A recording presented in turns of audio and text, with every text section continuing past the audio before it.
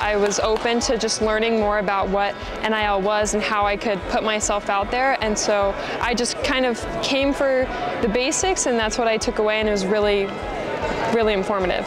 This was very informative. I want to thank everybody, all the um, panelists for coming. I really learned that if you find your niche in whatever it is or find something that makes you stand out, it's really going to help you in terms of getting an NIL deal with whatever company it is. I also learned that it's important to be smart with your money. You know, as college students, especially athletes, people are known to sort of be a little lackadaisical. So I think with the Invesco QQQ, the game that he told us about and everything, it was really helpful and I really appreciated it. Uh, to me, it just means a lot that the school cares enough to, you know, put something on like this for us, and uh, it's just a great opportunity to learn more about kind of the process and to learn more about uh, from the speakers about the business side of you know their interests and how they uh, kind of relate to ours and how we can all work together to kind of uh, build this thing and build the brand of Georgetown.